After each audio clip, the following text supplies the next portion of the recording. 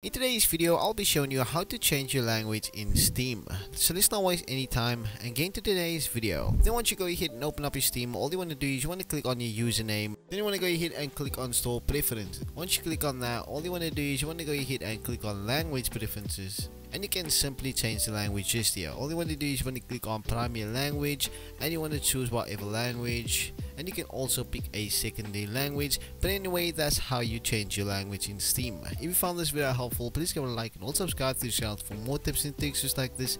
And i'll find you in the next video. Peace